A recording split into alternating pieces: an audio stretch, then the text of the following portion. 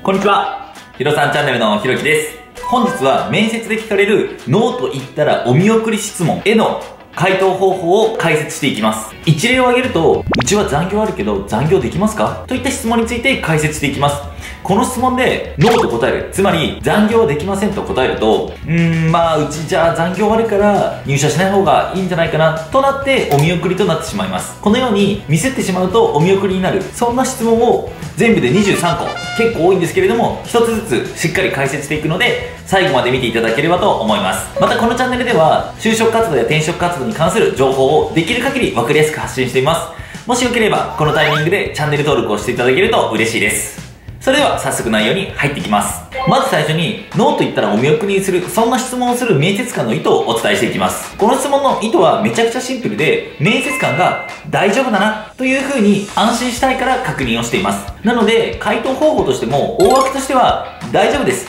このように答えれば、お見送りになる可能性っていうのはぐっと減らすことができます。大丈夫ですの一言だけで本当にいいのと思う方もいると思うのでもう少し詳しく解説していこうと思うんですがテンプレとしては大丈夫ですにプラス一言。このセットで回答を作っていくのがテンプレートです。この回答のポイントなんですが大丈夫ですかっていうような聞かれる。その質問でいや正直ダメなんだよな。その条件だったら絶対退職しちゃうから嫌です。そういう風に思う。そんな質問も中にはあるんじゃないかなと思います。そういう質問の場合は無理に大丈夫ですっていうふうに答える必要はなくて正直その点で言うとこっちの方が嬉しいんですよねっていうような本音回答をするのでも大丈夫です。例えばなんですけれども面接官から全国転勤は大丈夫ですか？というふうに聞かれて本音で言うと関東圏内なら OK だけどそれ以外は嫌だな。そういう気持ちだった場合は全国転勤ありで入社したとしても将来的にミスマッチになってしまう。その可能性が上がるのでだったら回答としては例えばなんですけれども転勤自体は問題ないのですが親が高齢で何かあった時に駆けつけられる場所にいたいので可能であれば関東圏内での勤務を希望しているのですがそういったことは可能でしょうか？といった切り返しをする方が良かったりします。いろんな種類のノーといえばお見送り質問があるんですがそれぞれの質問によって自分自身の OK ライン NG ラインっていうのは変わってくると思うのでその質問ごとに応じて自分が聞かれたらどういう風に答えていこうかなっていうのを考えながら一つ一つの具体例を見ていただければと思います。それではここからは具体例をざっと挙げていきます。まず最初の具体例はうちは転勤がありますが大丈夫ですか？模範回答としてはこんな感じです。はい大丈夫です。新たな環境に行くことで自分の成長につながると思うのでぜひ挑戦したいと思っています。こんな感じで大丈夫です。プラス一言。っていうのが基本的な回答のパターンになります。できれば中央は下げたいなっていう場合はこんな感じで答えると良いです。はい大丈夫です。転勤自体は問題ないのですが可能であれば両親も高齢のため何かあった時にすぐ駆けつけられる場所で働いていたいので転勤する範囲が関東圏内であると嬉しいです。そういったことは可能でしょうか？こんな感じの切り返しですね。転勤がもう絶対嫌だっていうそういう人もいると思うんですよ。という人はですね求人票を見て転勤ありの企業に応募しないのが一番です。転勤ない会社であれば聞かれることがないので心配をする必要がなくなります。では続いての質問なんですが夜勤がありますが大丈夫ですか？模範回答はこちらですね。はい大丈夫です。過去にコンビニのバイトで夜勤の経験があるため問題なく対応できると思います。こんな感じで過去に実際経験があって大丈夫だよっていうのは相手に対してかなり安心感を持たせることができます。経験がない場合はこんな感じの回答もありです。はい大丈夫です。求人票に夜勤の可能性があると記載がありそちらを理解した上で応募しているため問題ございません。みたいな感じで答えていくと良いかなと思います。夜勤が絶対嫌なんだっていう方は夜勤ありの求人に応募しないっていうのが大事です。では続いての質問はこちら。うちはシフト勤務ですが大丈夫ですか？回答はこちらです。はい大丈夫です。求人票にシフト勤務になると記載がありそちらを理解した上で応募しているため問題ありません。どんどん行こうと思います。ノルマがありますが大丈夫ですか？はい大丈夫です。営業職であればノルマがあるのは当然ですし目指すべき目標が明確だからこそ達成するために取り組むことができそれが自分の成長につながると考えているため問題ありません。繁忙期には残業がありますが大丈夫ですか？はい大丈夫です。未経験からの調整なので時間にこだわらず早く一人前になることを優先したいと思っているため残業があることは問題ありません。ここちょっと解説しようと思うんですが自分の限界の残業時間を超えるような職種だったり会社っていうのの応募は控えることをお勧めします。残業時間がどれぐらいある仕事か分かんないなっていう場合は面接の時に御社の残業時間何時間ですか？っていうふうに聞くよりは内定後のタイミングに確認することをお勧めします。では次の質問いきます。結婚や出産後も仕事を続けていたいですか？はい続けていたいです。現時点では具体的な予定はありませんが仮にライフステージが変わったとしても働き続け活躍したいと思っています。この質問の意図っていうのは面接官はライフステージ変わったとしても長く働いてほしいなっていうところを思って聞いているのでそのつもりで働こうと思ってるよっていう回答をしていただけると面接官に安心してもらうことができます。うちの会社はチームプレーが多いですが大丈夫ですか？はい大丈夫です学生時代から続けているアルバイトでも周りと密に連携をしながらお客様に満足してもらえるようにと取り組んできたので御社で入社してからもチームプレーを大切にしながら働いていきたいと思います。チームプレーというのはほぼ全ての仕事で求められるものなのでこういう質問が来た時には「はい大丈夫です。なぜなら」を持っておくと良いかなと思います。では次の質問いきます。資格を取ってもらうために頑張らなきゃいけないけど大丈夫ですか？はい大丈夫です。御社の仕事では日々新たなインプットをすることが活躍し続けるために重要だと考えています。そのため資格取得のための勉強に取り組むことは当然だと思っているので問題ありません。さらにプラスの理想的な回答もここに追加していこうと思います。ちょっと具体的な技術職っていうところの切り口でいこうと思います。資格取ってもらうために頑張ってもらいますが大丈夫ですか？はい大丈夫です。インフラエンジニアとして働くにあたって CCNA という資格取得が重要になることを知りました。すでに勉強を始めていて来月に受験する予定です。入社してからも同じように専門性を高めるために資格取得に取り組んでいこうと思っています。こんな感じで頑張ろうと思いますっていう意欲だけじゃなくてもうすでに行動してますよっていうところまで踏み込んだ人はめちゃくちゃプラスポイントが取りやすいです。なので自分が目指す職種の方向性とかがあるんであればそこを調べてどういったことが必要なのかっていうのを理解した上で就職する前からその行動をとっておく。これが内定の近道になるのでぜひ参考にしていただければと思います。では次の質問いきます。ご自宅から弊社が遠いようですが入社後に引っ越しすることは可能ですか？はい。問題ありません。仕事に集中しやすい環境で働くことでいち早く活躍できるような存在になりたいと思っています。実は引っ越し屋なんだよなっていう人も多いと思うのでその回答パターンも紹介していこうと思います。はい問題ありません。これ1回はい問題ありませんって答えるのは結構重要なんですね。はい問題ありません。ですがお恥ずかしながら引っ越しの資金がまだない状態のため御社で働いて引っ越し資金がたまったタイミングで引っ越しをするといった形でも大丈夫でしょうか。みたいな感じで切り替えするとスッとかわすことができたりします次の質問いきます入社時期はいついつぐらいが良いのですが大丈夫ですか？はい問題ありません入社までの期間で何々に取り組み入社後なるべく早く活躍できるように準備を進めていきますこの質問ですね、入社時期、ちょっとこの時期難しいんだよな、今在職中だからな、という人もいると思うんですよ。なんで、そういった人向けの回答も紹介しておきます。入社時期はいついつぐらいがいいのですが、大丈夫ですか？はい。おそらく問題ないと思うのですが、まだ退職日を会社に伝えてない状態です。できる限り何々月に入社できるように調整しようと思いますが、正式な回答っていうのは現職への退職の意思を伝えた上で、御社に報告するという形でも大丈夫でしょうかこんな感じです。ノーと言ったらお見送りになる質問って言っときながらあれなんですけれども、入社式の調整っていうのは、在職中の方であれば、基本的に数ヶ月間の間であれば、相手は調整してくれるので、そこまで心配しなくても大丈夫です。では次の質問いきます。この業界は初めてのようですが、大丈夫ですか？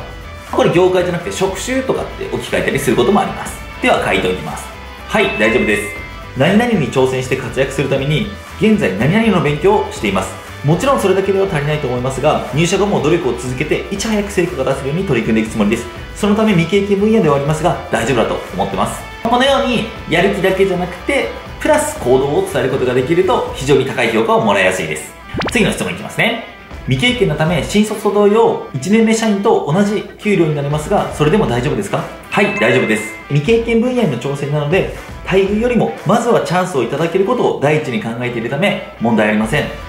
給料について気にする方も多いと思うんですけれども求人票の年収を見てこの年収なら無理だなっていう会社は最初から受けない方がいいかなと思います経験やスキル実績がある方の場合年収交渉って結構できたりするんですけれどもそれがない状態で年収交渉ってなかなか難しかったりするのでまずは求人票の年収で自分の基準を満たしてるかなというところを OK な基準を受けていくようにするといいかなと思います。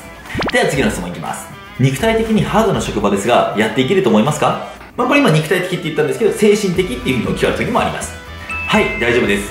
この仕事では何々という大変さがあるということを理解した上で挑戦したいと考えているためやっていけると思ってます、あ、ちょっと解説入れると各去に近しい経験がある場合は夜勤の時の話と同じように何々という経験があるんでその時問題なく対応できたんで御社でもやっていけると思います。みたいな感じで実績ベースで伝えると安心感が増すので良かったりします。実際やったことない仕事だと分かんないことって多いと思うんですよ。実際具体的にどんな感じなのっていうのを面接で聞いてみて無理だなと思ったら通過したとしても辞退すれば OK です。別に内定出たら行かなきゃいけないなんてルールはないんで面接までは比較的軽い気持ちで行って話聞いてみようで OK で内定出て入社するかしないかここで一歩踏みとどまって本当にそこでいいのかなっていうのを考えてダメならバンバン辞退していくっていう感じが良いかなと思います。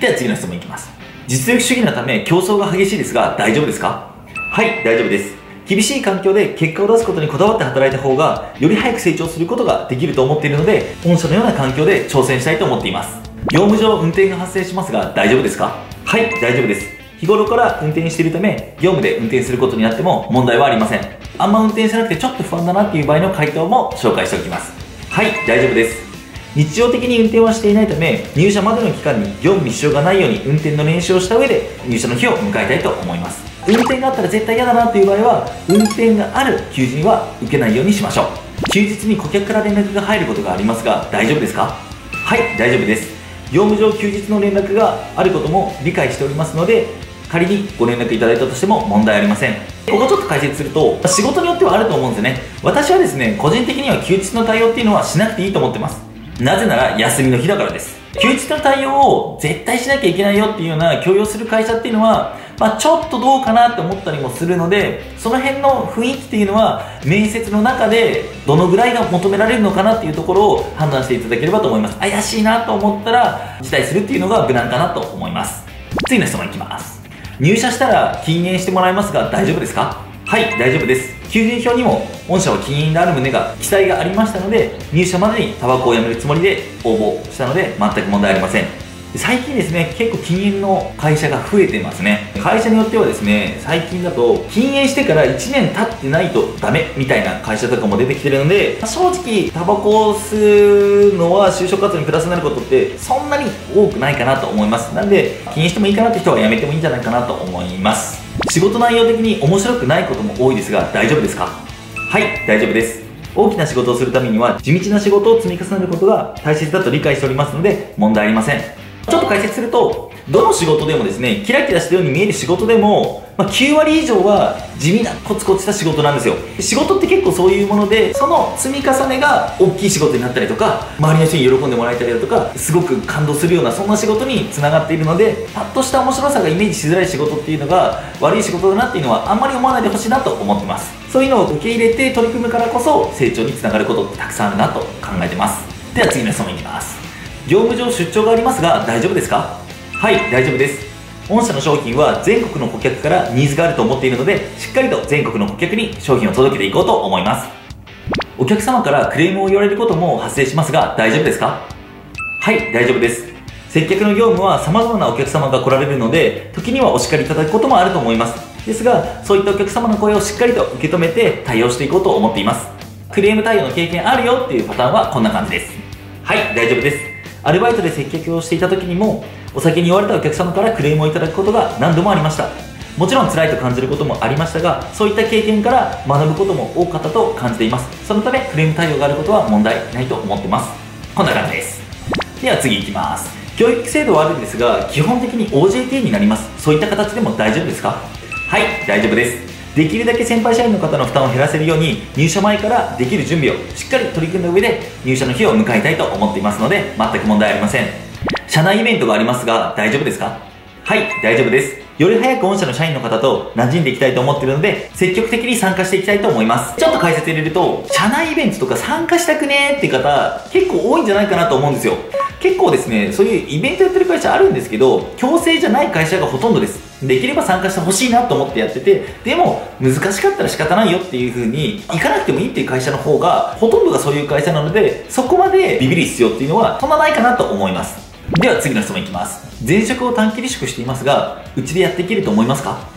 はい大丈夫です。前職を短期間で退職したことで自分にはもう後がないと思ってます。もしチャンスをいただけるのであれば、壁にぶつかったとしても、しっかり乗り越えていきたいと思っています。今のは抽象的な気合系の回答ですね。本来であれば具体的な方がいいので、具体的な回答をもう一つ例として紹介しようと思います。前職を短期間で離職していますが、うちでやっていけると思いますか？はい、大丈夫です。前職の退職理由は、専門性を身につけることが難しいと考えたことがきっかけでした。